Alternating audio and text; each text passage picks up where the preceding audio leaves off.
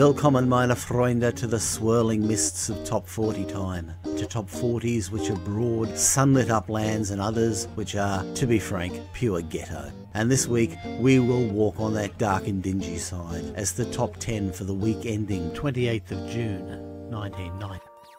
Kicking off this week's Stinkfest is Step by Step from the New Kids on the Block, a record which is at best innocuous, and by later standards in this video, innocuous will become a fairly mild term of reference. Blandly and occasionally adenoidally sung, if artfully arranged, the record seems to aspire to being a cheeky disco throwback, but it misses. Too much of the then popular clutter and clank production style dims the impact of the silky strings. On the whole, one can't help but think the song is really just a tool to push a music video, rather than the other way around. And therein lies the problem.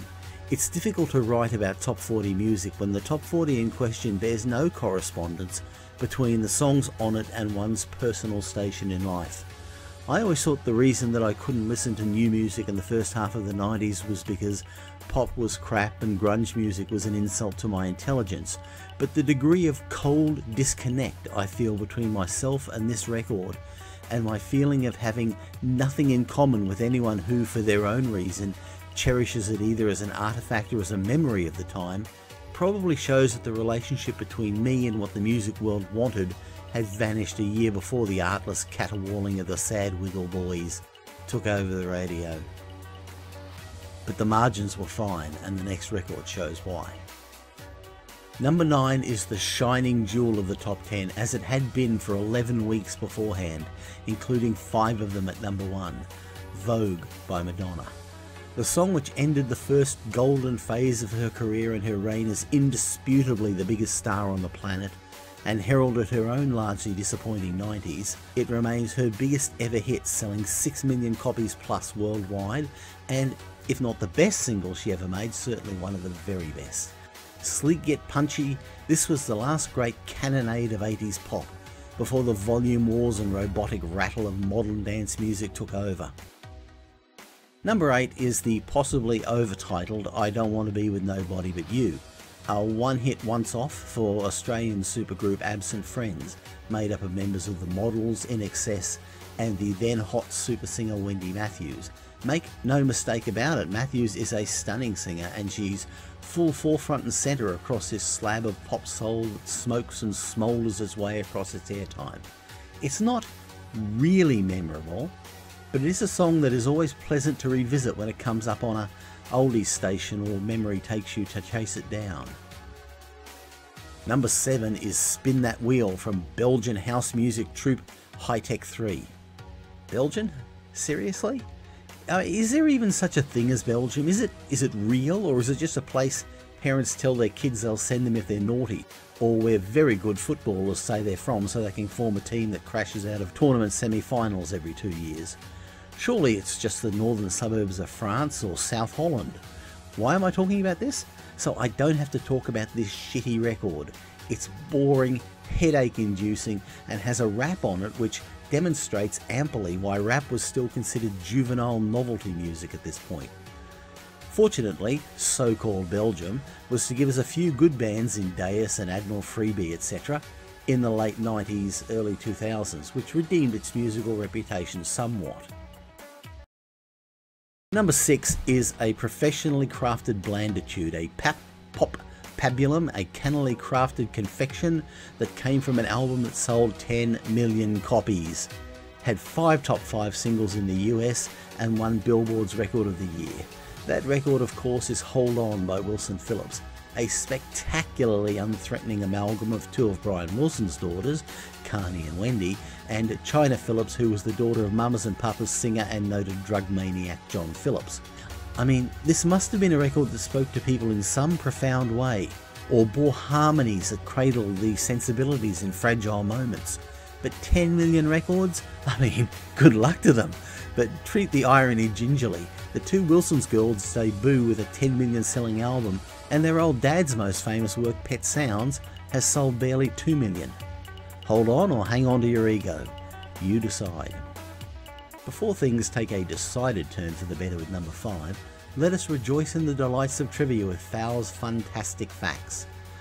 The biggest mover up this week saw the parachute pants of MC Hammer jiggle into the chart for a first week debut at number 25. The album which spawned this was released 31 years ago before the term hip hop was even in common parlance and rap music as it was known then, as mentioned before, was still considered a juvenile novelty. But it remains the fifth biggest selling hip hop album, or fourth biggest if you count a double album as a single sale, of all time. Of course, if you take out posthumous albums and remove the albums by Eminem on the basis of cultural appropriation, it's the biggest selling hip hop album of all time. See, you can prove any damn thing with statistics. It hit number one on July 19th and spent four weeks sneering down on the puny wannabes from 2 to 40 for four weeks and becoming the second biggest hit of the year. What was the biggest hit of the year? I'll give you a clue. It was a Prince song. Paling into irrelevance is How Can We Be Lovers from the supremely irrelevant Michael Bolton, dropping from 29 to 34 after eight positively overwrought weeks on the chart. At number one in the USA this week is the heretofore weighed and found wanting Step by Step from the new Kids on the Block. In the UK, Elton John took Sacrifice to the top, which, in spite of all the magnificent singles he released in the 1970s, actually became his first solo number one hit. And he had it with a song that sounded like it was recorded using a Yamaha PSR2 home keyboard. The number one album in town was Beyond Salvation by the Mighty Angels, whom I'll be going to see shortly. Although it must be said this was a pale shadow. Can you have a pale shadow, or is that a contradiction in terms? Of their previous glories. At number 5, we find Australian icon and full time professional cutie pie Kylie Minogue. She of the near preternatural loveliness, with Better the Devil You Know, which continued what was then the seemingly unstoppable juggernaut of her career. There's no seemingly about it. Kylie's career is an unstoppable juggernaut. Don't nobody be saying nothing bad about Kylie on this channel. The song that represented the arrival of the mature Kylie, it stands up today as one of her best singles and seems a fitting chart bookend to Madonna's Vogue for the week. By the way of trivia, this song is played at the same time, 12.30am on Saturday morning in London's famous GAY nightclub. I don't know what kind of clientele that nightclub enjoys, there's no way of telling just by the name, but I'm sure given their choice of Kylie centric ritual, they are a fun loving and merry bunch of revellers indeed. So next time you're in London, well, Kylie has left the building and we're back on the road ourselves to number one, having four irredeemable dung heaps to surmount on our way there. First of which is Infinity by Guru Josh, which is a little better than elevator music for people who've had one too many of the old disco biscuits. For those of us not whacked off our bonces on MDMA, the predominant sound here is of grinding repetition. Sadly, it looks like the old disco biscuits caught up with Guru Josh in the end, who sadly decided to take his own life in 2015. Vale Guru Josh, we hardly knew ya. Number three is an example of fine European craftsmanship applied to a song that sounds more like a Diane Warren ballad than any Diane Warren ballad does without actually having been written by Diane Warren. Must Have Been Love by Roxette. Machine engineered by Nordic robots to engineering tolerances comparable with a German cooktop and filled with the we care a lot, we really do cynicism of a Volvo ad this weepy winter sing along was appended to the feel good movie smash of the year Pretty Woman and unleashed on a public which has, in paying good money for Guru Josh and Wilson Phillips, clearly place the possession of music above the appreciation of it, showing it lacks the discipline or direction to resist such tooth rottingly sweet candy. That's an 87 word run on sentence, that's a new record. The Murrumbidgee River of this week's chart is not so much everything that is wrong with this week's chart, but just a disastrously wrong headed record with the thin consolation that talent can eventually triumph in the form of Tina Arena's I Need Your Body. Now, Tina's story is one well known and frankly a bit of a tired joke with music fans of a certain age, i.e., mine, in Australia. Discovered at 7 by a cheesy talent show, a star at 9, going down the same path to obscurity as all the other Wonder Kids discovered by the show, except one Minogue K, who did alright for herself, Unstoppable Juggernaut, etc. And enshrinement forever as Tiny Tina, a flickering black and white trivial pursuit question. Five years of obscurity followed before finally getting a deal with a second rate, frankly, production organisation, decent pop ballad oriented album in 1990. And then this. Completely atypical of the album or the direction which Arena wanted to steer her career, it seemed to be designed to fit a video narrative of the cute little nine year old is all grown up, got a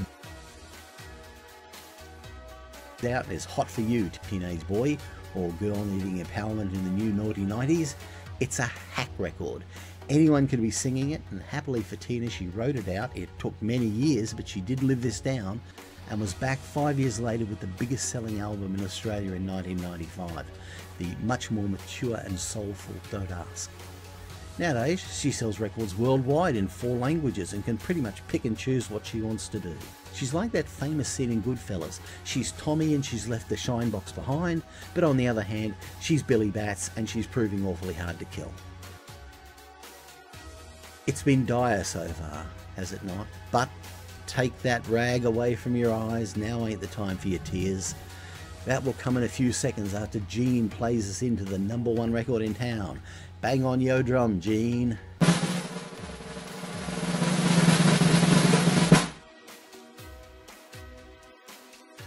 It's. Oh dear. All I want to do is make love to you by heart. All my barbs are thrown, but I wish I'd saved even a few for this dreck, this hackwork, this excrement.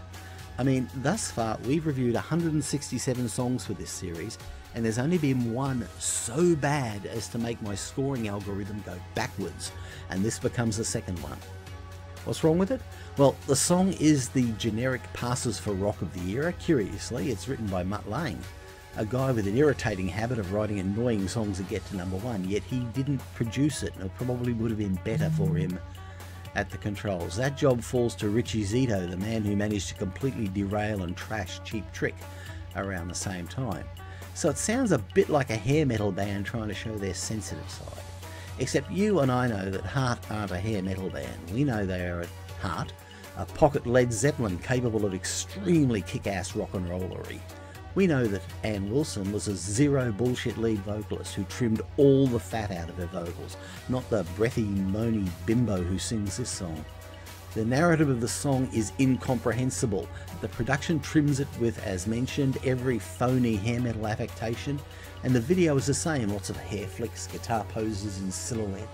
It's a fake record, it has no soul, it doesn't resonate, it is a stain on the copybook of a band that actually had a halfway decent legacy, and it's a stain on the top 40 for this week. So that's it. Depressing, isn't it? The top 40 this week was so poor simply because it arrived at a time when the record industry now controlled the game. Apart from Prince, none of the major artists was willing to bite the hand of the companies that fed them and set them up as mini corporations.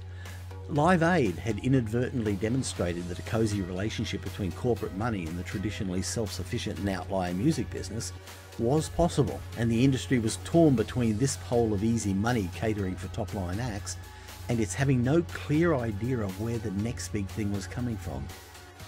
So they bet each way. They split their attention between the high value celebrity commodity stars and the traditional model of blanketing for unknown acts, which yielded grunge and a wave of neo folksy singer songwriters of dubious pedigree and even more dubious quality. That gave the record industry another five or so years of good times until a combination of having to pay ridiculous money for even average acts, disruptive commercial and distribution strategies like the rise of the internet and technology that enable garage recording becoming a thing, and the genre wars leading to a confused and threatened industry scrambling for a new business model and abandoning certain demographics, especially rock and metal, to the new marketplace and concentrating on fungible pop and hip hop acts for the younger generations and high end marketing of heritage acts, which becomes much easier to do as these acts progressively die off. And right here, right now in 1990, you can see where that road is being laid out ahead of us. I'm sorry.